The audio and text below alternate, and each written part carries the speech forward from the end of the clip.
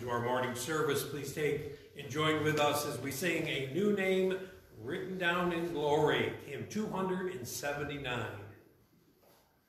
Shall we stand as we sing?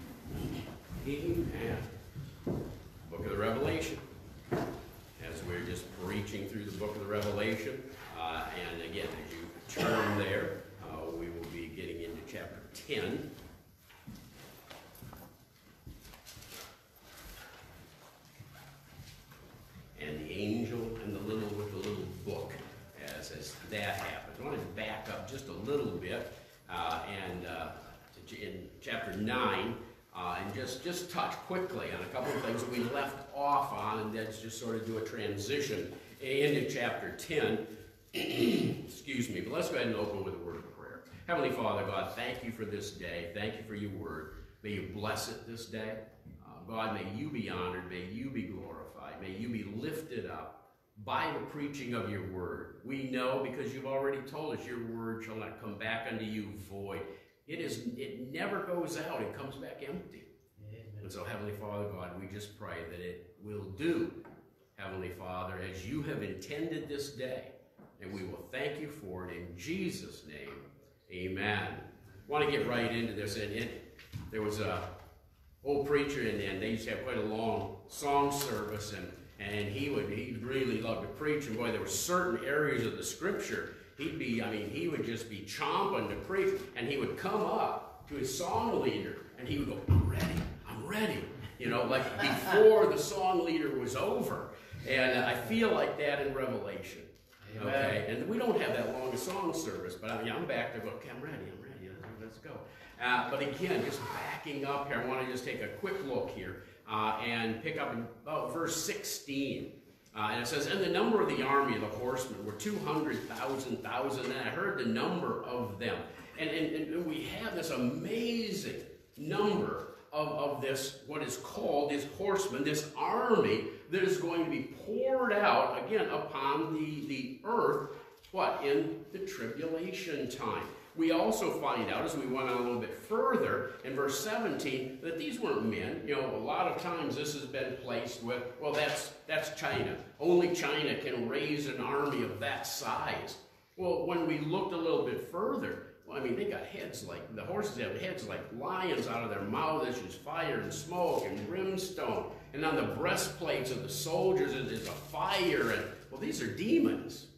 These aren't men. And, and so as we walk through and we saw those things, and it talks about the fire and the smoke and the brimstone. And then verse 18 it says, By these three, smoke, fire, and brimstone, are a third of the part of the whole world of men.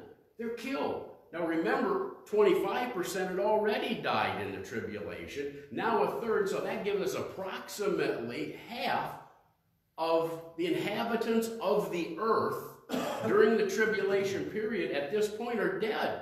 They, they have been killed for their power. And again, talking back uh, of these uh, who are issuing the smoke and the fire and the brimstone, it says their power is from their mouth and, and in their tails. And their tails were like unto serpents, and their heads uh, with them do hurt. Notwithstanding, it says, the terror of the tribulation, and again, if we realize this terror is continual, it is just ongoing. And verse 20 picks up and says, And the rest of the men which were not killed, and this is where we kind of left off last week, and some of the things that, that always amaze me. And the rest of the men which were not killed, about half of the population of the earth is still alive. These pledged, yet repented not of the works of their hands. They still didn't repent. Knowing, seeing, and, and we know by some of the other things that we're told in the Word of God, they know that this is of God. They know, again, that this tribulation uh, is from God. They still won't repent. That they should not worship devils and idols and idols of gold and silver and brass and stone and of wood, which neither see nor hear nor walk. They continue. Not only do they not repent, they continue to worship that that cannot see nor talk. Those things made with their own hands. And then verse 21, neither repented they of what? Their murder, nor of their sorceries, nor of their fornications, nor of their thefts. They refused to repent, period. Even though half of the population of the world has already died, has already been killed during the tribulation, the half that is left are still saying, no, we will not bow the knee. We will not repent. And again, I've touched on it a couple of different times why I think they won't. They, they've rejected God for the last time, and God has said, okay. The Holy Spirit no longer convicts them. They've denied God for the last time. That, that's my opinion as to why they do not repent. They cannot repent at this point. They've rejected God for the last time. Now, picking up in chapter 10, and we expect, because we're walking through, and again, we are looking at the seven trumpet judgment. The sixth trumpet has sounded. What we've just looked at there in chapter 9 is that sixth trumpet. And now we expect what to happen? Seventh trumpet, right? No. No, we go into 10 and all of a sudden there, there's this there's parenthetical again. They say, wait a minute, wait a minute. There's other things going on. And, and I don't know if you've ever, if you've ever watched some of the old movies before they had voice. Okay? Back before they had voice, they just had words were running on the bottom. You read, you watched the movie, and you read what was being said what was going on in the movie. And, and so, you know, something's going on, and, and, you know, Texas Joe walks in the bar, and there's this tremendous bar fight going on. And all of a sudden, right in the middle of the fight goes, and back at the ranch. And they would switch and take you somewhere else. And then they would cover what was going on, and then, then they, they switch back to Texas Joe. Listen, they got that, I think, from here. All right. I, think, I think Hollywood movies said, hey, that, that works in the Bible. Uh, why? Because this is back at the ranch. We're going along. We're seeing what's going on. We're following through these judgments. And all of a sudden, it's like, wait a minute. There's other things going on. There's some other things happening. And so we are brought then to this portion.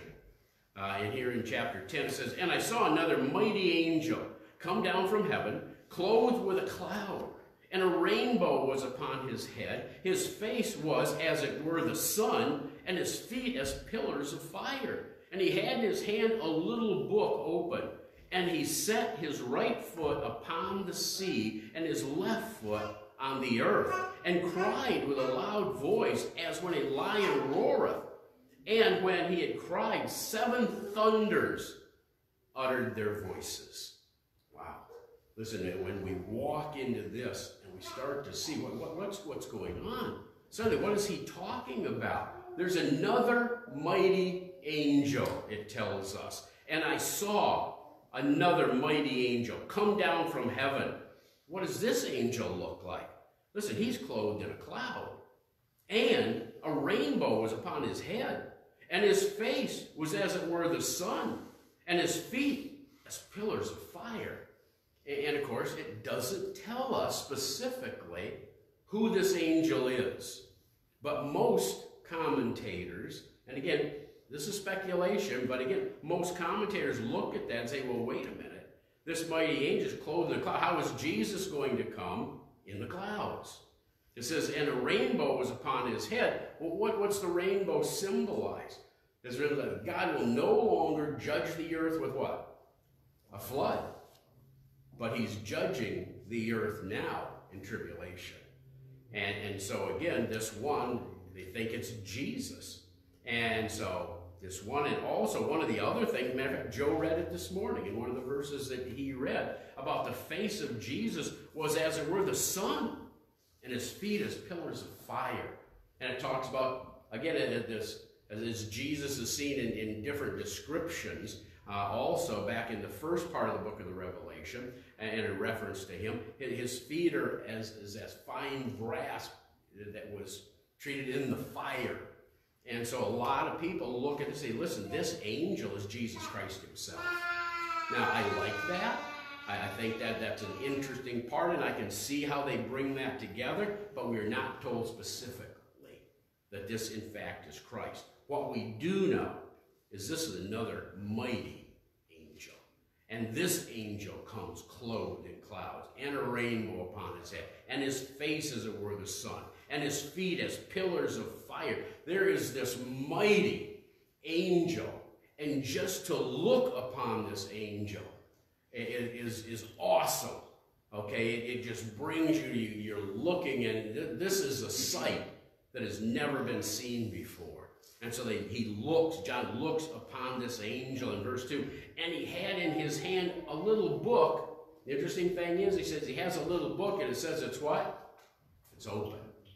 Listen, this, this book, he doesn't come and, and it's closed book. Remember the seven sealed book? We started back in the seven sealed judgments. Uh, no, this book isn't sealed.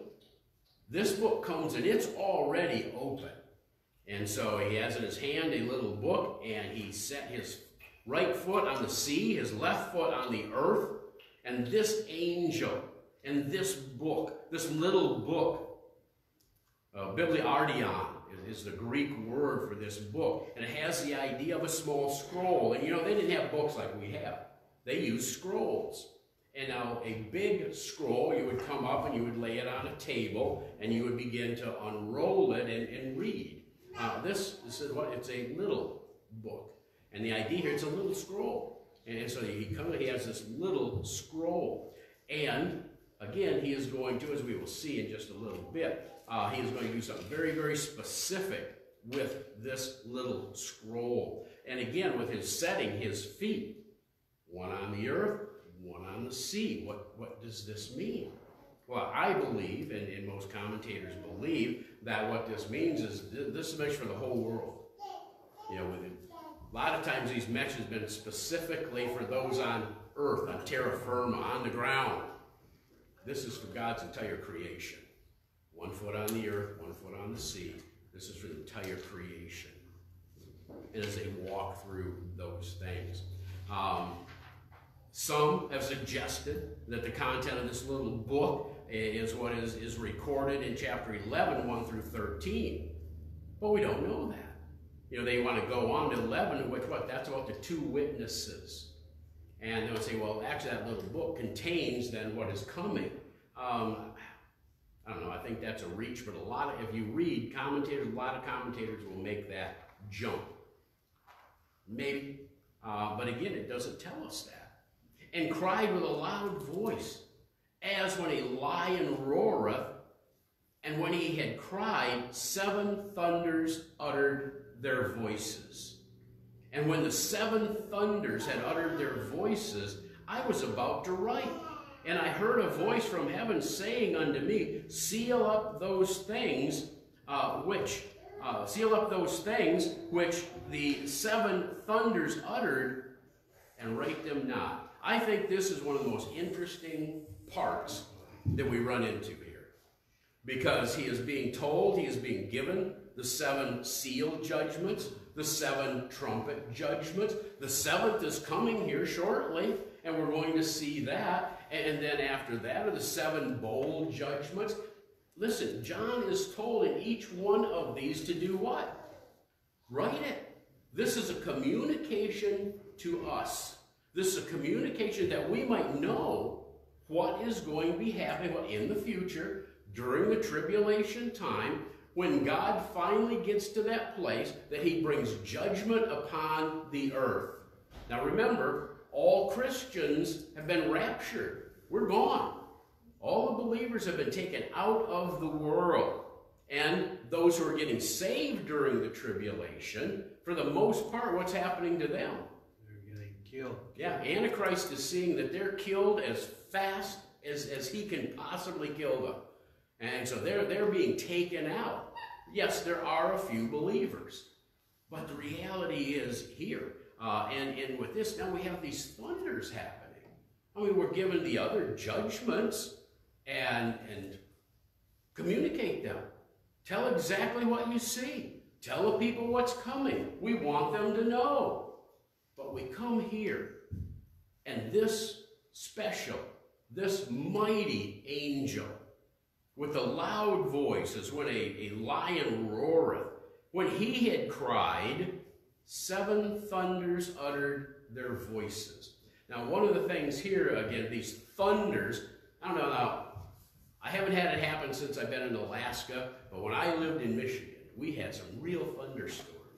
And there would there would be a time every once in a while, I mean, it, it would hit close, that thunder would go up like right over your head. It, it, it literally felt as though it just shook the place. And you would feel it inside. I mean, it was like a concussion. And that's kind of what I imagine. These thunderings are just concussions that are going on, but they're communicating something. He said the voices. Seven thunders uttered their voices. These thunders are communicating something.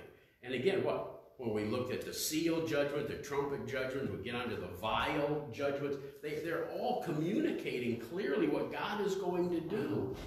We have these, this thunder claps take place, and he said, wait a minute, because what does he say? And when the seven thunders had uttered their voices, he heard them and he understood them clearly. Say, well, how do you know that? Because I was about to write. He heard them and he understood them clearly, and he's about to write down what he heard. And I heard a voice from heaven saying unto me, Seal up those things, which uh, the seven thunders uttered, and write them not.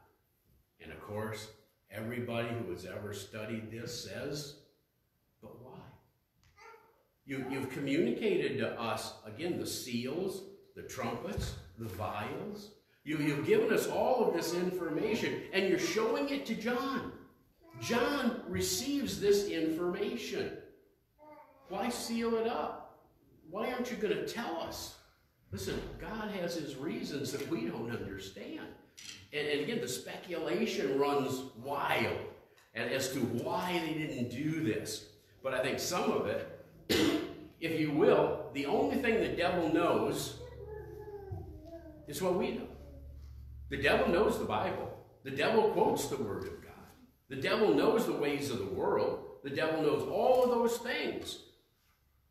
But if we don't know it, and God doesn't write it down, the devil doesn't know it either. Are these some things during that, that time period that God just said, nope, I don't want the devil to know that. And he just takes it and closes it up? I don't know. But what also, I think on the other side of that, or another possibility uh, of that, may also be that is this about Israel?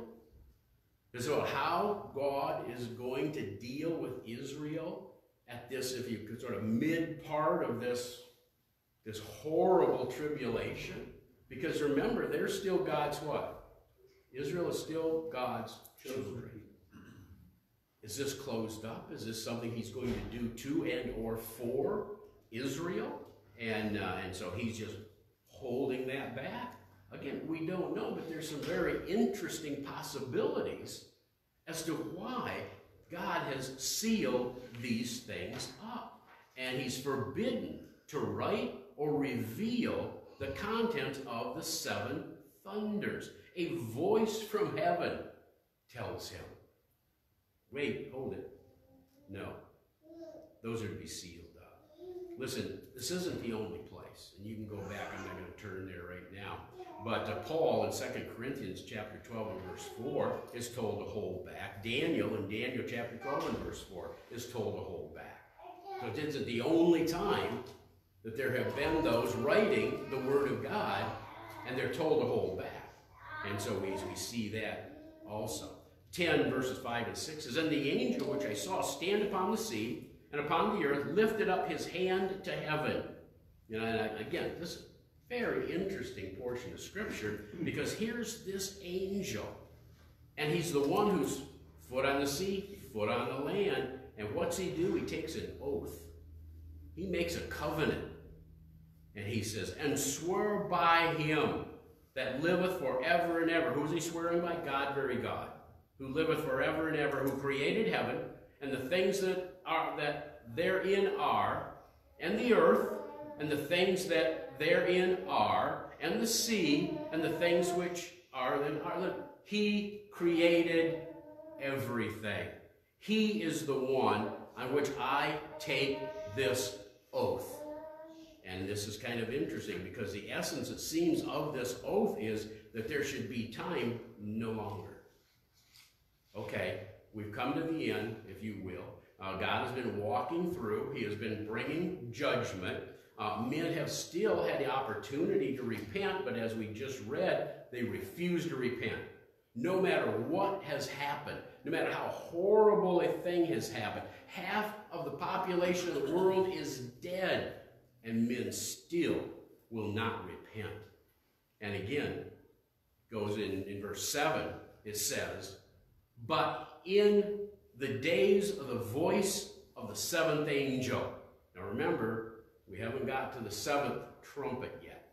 And so when he shall begin to sound, the mystery of God should be finished, as he hath declared to his servants, the prophets. God has said there's going to be an end of all of this. I am going to take care of sin. I am going to judge the nations. I am going to deal with all of these things, as he has told his servants, the prophets. And now we're to that place here in tribulation. He shall begin to sound the mystery of God should be finished, as he had declared to his servants, the prophet. Listen, this has always been a mystery. When's the end coming? When, when is that going to take place? When is this all going to culminate? When are we ultimately going to get to see what? A new heaven, a new earth, a new Jerusalem coming down? When are we going to get to see the millennial kingdom of Jesus Christ?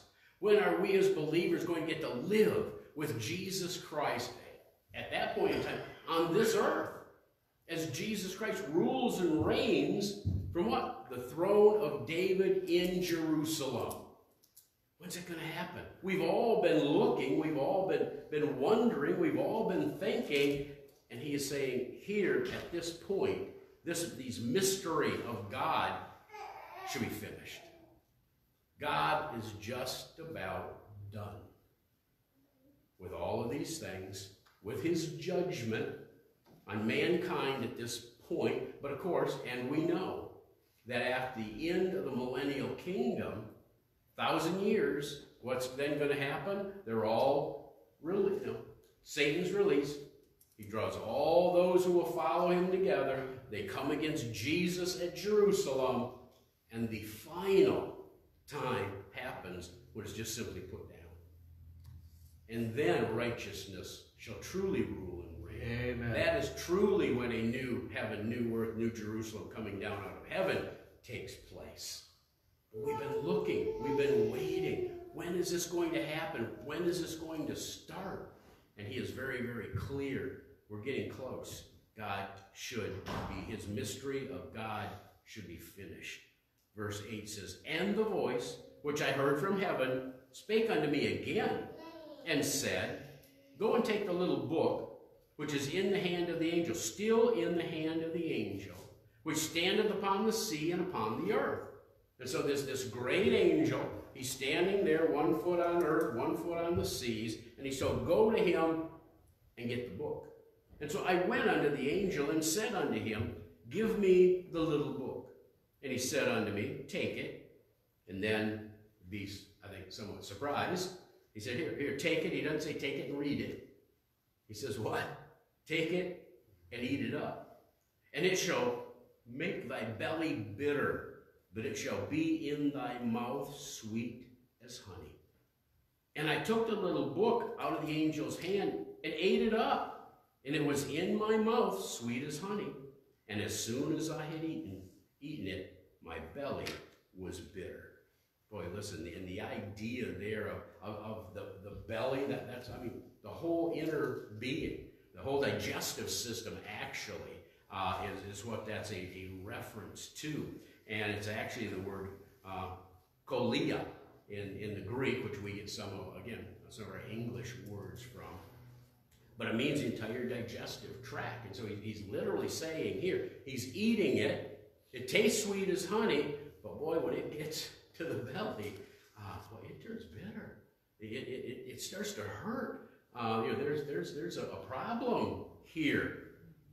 And so as he walks through looking at these things, he eats it in his belly. It's bitter. And well, what's, what's that about? And again, man can do nothing but speculate because it doesn't tell us. As I mentioned in, uh, after Sunday school this morning, we walk through and we always want to know, don't we? We want to know specifically. I want to know what does that mean? I want to know about this little book. I want to know about him eating it. It tastes like honey, but it's bitter to his belly. I mean, why was that? What, what symbolism is this? And I want to tell you what, there's lots of people who have placed a lot of symbolism with this. That's exactly what does this mean? Number one, we don't know. But then, again, what, what might it mean? Well, what if he is rejoicing and joyful over the reality. I mean, this is like honey, if you will, to him, because this book tells of the end of this judgment, the end of the tribulation. That's going to be sweet to one like John. But also within this book is also talking of the judgment that's brought against his own brother in Israel. That is that what that means? I don't know. But in looking at it, I can see where that kind of information, well, I, I take it and oh, this is almost over. Praise God. But then the reality of what it, it says is that his brother in Israel is still going to be under condemnation. They're still in part of this tribulation until what? Until they repent. They must repent like everybody else. And until Israel repents. Again, it doesn't tell us clearly. That's a possibility. Verse 11. And he said unto me, Thou must prophesy again. Listen, at this point in time, as John is here on the Isle of Patmos, uh, he has been here. They, they, again, they believe he's, he's about 90 years old or so at this point in time. And so he, he's not a young man. And yet, verse 11 says, And he said unto me, Thou must prophesy again before many peoples and nations and tongues and kings. And you think, well, how's this old man going to do that? I mean, how, how is he going to continue? I mean, they won't even let him off the Isle of Patmos. Um, he wrote the book of the Revelation, and he still speaks today. Amen. I believe that that's the idea here, is that which God had given him to write. that which again reveals all these things that are coming in the future, that that is set out before us this very day. The scope, again, of this future prophecy. It's universal the way that is written, that it's going to be peoples, nation, tongues, and kings. But the written word, the written record of John, is still looked at today. The book of the Revelation, it's the capstone. It's that which completed the New Testament. And this capstone of the New Testament, listen, it has gone out around this world.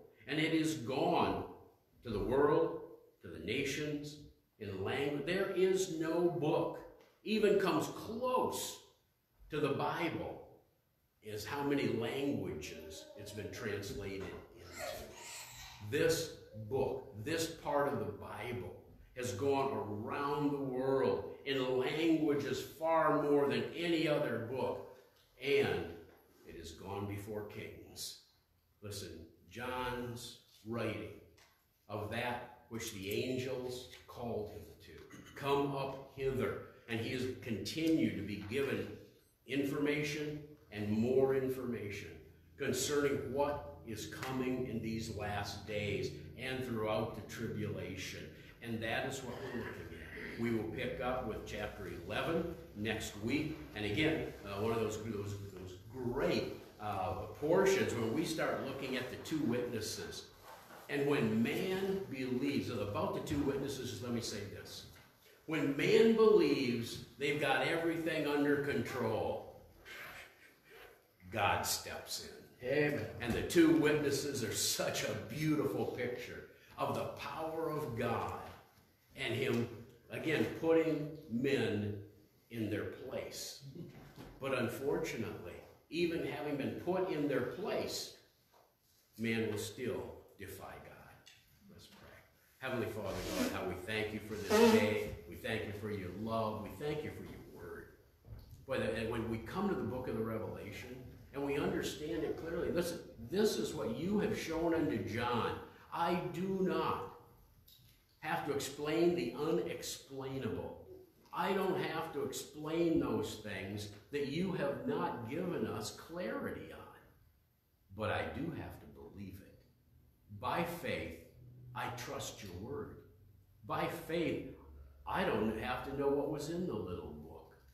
I don't have to know what made John Belly bitter. I don't have to know those things. But it's good to know that it did. It's good to know that there is the truth and reality in your word. And by faith, I simply believe it.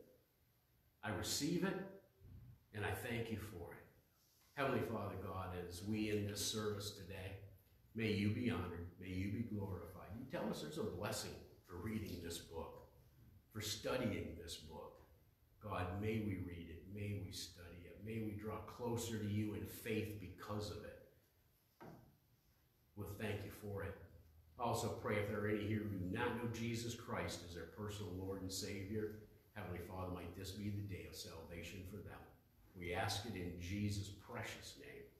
Amen.